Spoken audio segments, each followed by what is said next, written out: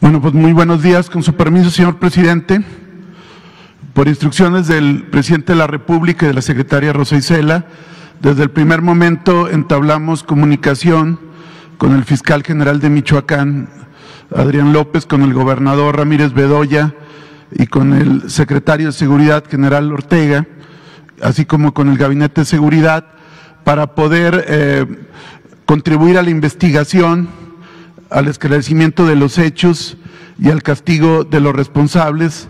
del evento en San José de Gracia, municipio de Marcos Castellano, en Michoacán, cercano al estado vecino de Jalisco.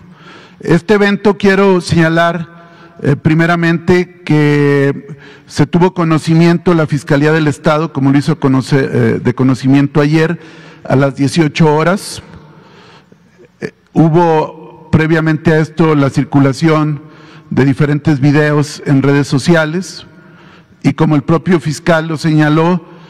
no hubo un alertamiento ni de la presidencia municipal ni de la Fuerza Municipal de Seguridad Pública,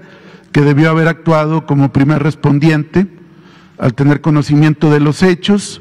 asegurar la escena y alertar a las autoridades. Fue que después del conocimiento de los hechos, la propia Fiscalía, la Guardia Nacional, reforzada por la Secretaría de la Defensa Nacional, se trasladaron el mismo domingo 27 de febrero